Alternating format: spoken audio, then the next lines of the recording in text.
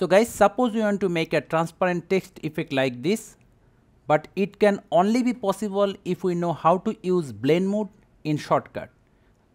So on our upper layer we have our text and on the first layer we have our footage.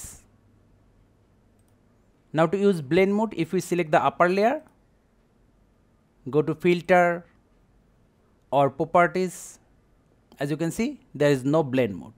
So how to use the blend mode? Suppose we want to use blend mode for layer 2. For that go to left side where we can see all of the icons. We need to left click on here then go to properties or from up here select the properties. Now as you can see here we have our layer name track v2. See our layer 2 name v2 and under that we have blend mode.